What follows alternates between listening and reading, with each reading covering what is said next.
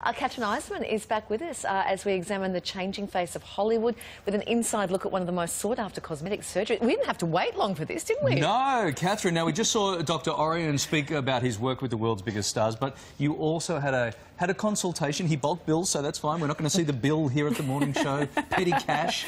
Talk us through it. it's not petty cash, that's for sure.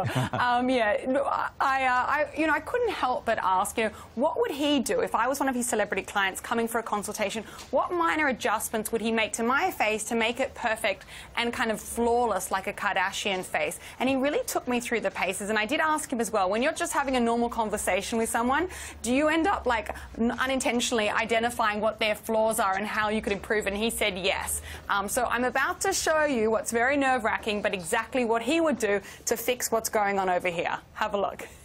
The most important thing that I noticed is that uh, some of the things that, for example, you can change about your lifestyle is I noticed that you sleep on the left side of your face all the time. I do. I yeah. sleep. I never sleep on the right so side of my face. Ever. It's very subtle, but you can see that your uh, left side of your cheek is a little bit flatter compared to this side, to the right side, and that's because your cheek is nicer, and, and, and that's probably your best side to take photos. It is. That's so why I'm standing right here. If I lift your eyebrows a little bit, I can smooth out your forehead. We're going to get you some of the crow's feet here, from the crow's feet around your eyes. Wow. We can open up your eyelids and make you look more alert. This is a brand new you. She's got a good heart, though. This she means well. Yes, she, obviously, obviously, still very stunningly beautiful. But the, the point is, you know, they're very subtle things. Nobody's going to, if you once you do even all these procedures, nobody's going to look at you and say, "Wow, who's your doctor?" Now they will, though.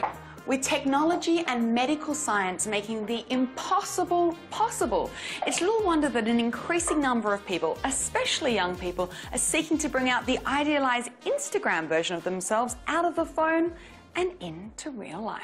Just ask UCLA Information and Gender Studies professor Safiya Noble. The research shows there's a direct relationship between increased selfies and increased desire to modify the body or engage in plastic surgery. People are able to imagine and see themselves modified through these digital technologies. They're using filters, they're using Photoshop applications, aware of themselves in a way that they might never have been able to be as aware.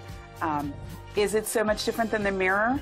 Maybe not, but the way in which one can circulate that image that one sees in the mirror and get approval or disapproval um, is definitely shifting. Our relentless self documentation is not only changing the way we see ourselves, but exposure to a million selfies taken each day by other people is broadening the very concept of beauty.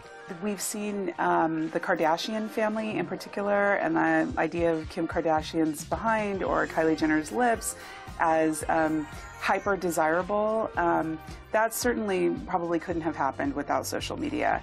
Um, it's also interesting though because they are giving us a very different aesthetic um, and sense of beauty. I, you know, I think about when I was young, um, we had fashion magazines to see and understand what's beautiful. It was a very narrow conception of beauty. It was decided by editors um, and photographers, and now there's a hashtag for curly girls, right? There are all, there are all types of uh, multiracial and um, other types of beauty images that are circulating. While the definition of beauty has never been more racially diverse, dissatisfaction with how we look is no less common. So if you're not totally happy with what your mama gave you, don't worry, there's always Dr. Ourian.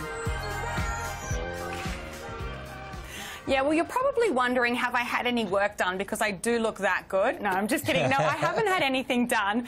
But it was fascinating to see what a perfected version of your face uh, is. And I actually look quite different. And, and you couldn't identify what was different, but the overall feel was like, who is that? You know?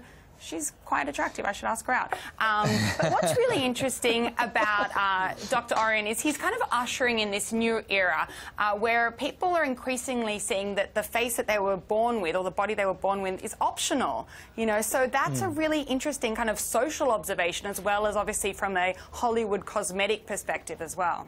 Yeah. Mm. Yeah. Hey. Uh, uh, can I think? Oh, sorry. Kathryn, look, this is what's going to happen. Kylie's uh, has an opinion, then I'll chime in at the end. No, no. When I saw the I, when I saw the difference, I went, "Wow! Look at how much he can do with just a little bit of tweaking."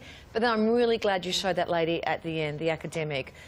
uh, like it's Yeah. it, that's this isn't it's not about this. We're just looking at ourselves too much, isn't it? We should be happy with what we've got. We should be happy we've got what we've got. Yeah, well, We- we- No, we- because it makes me a bit, it makes me a bit sad. yeah, no, it is. Uh, It is sad. Because you're gorgeous, Kathryn.